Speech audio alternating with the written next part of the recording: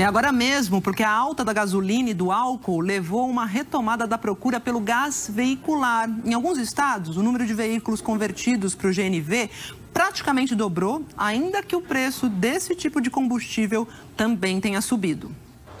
Faz dois meses que o espaço no porta-malas do carro do Rosimar ficou menor foi ocupado por um cilindro de gás natural. Eu estava gastando 140 reais por dia, hoje eu estou gastando 70 reais, que, nossa, isso aí está me ajudando demais da conta. No acumulado dos últimos 12 meses, a gasolina sofreu uma alta de quase 40%.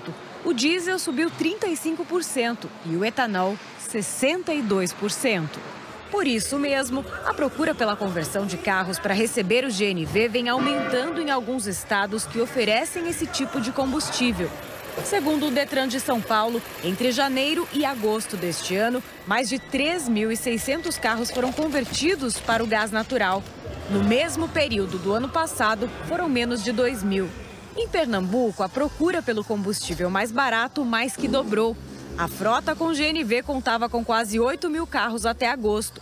Mas o estado com mais carros rodando com o GNV é o Rio de Janeiro, com 43 mil veículos. Até agosto do ano passado, eram 13.500. A Begás registrou aí um, um crescimento de 16,1% uh, cento no consumo de gás nesse período, que mostra uma, uma, uma um começo de retomada né, e aquecimento do setor é, em função da economia gerada pelo combustível. Na calculadora do motorista que pensa em mudar para o GNV, entram o valor do kit, que gira em torno de 3 a 5 mil reais, a instalação, que custa em média 800 reais, e a documentação, que também não é barata, fica na casa dos 600 reais. O kit, é claro, ele cobra um investimento inicial é, que pode ser recuperado ao longo do tempo. O GNV, assim como os outros combustíveis, também subiu muito de preço, quase 35% em 12 meses.